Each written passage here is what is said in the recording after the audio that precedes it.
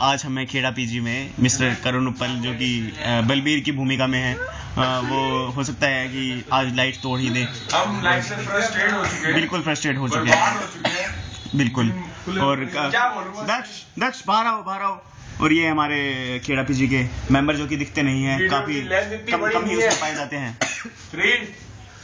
ये है कुणाल अमन। और ये अब ये अ, पल आने वाला है।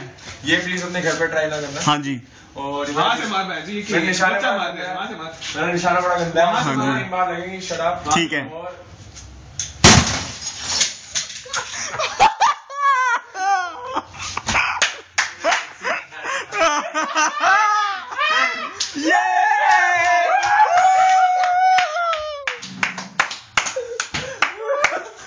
विनर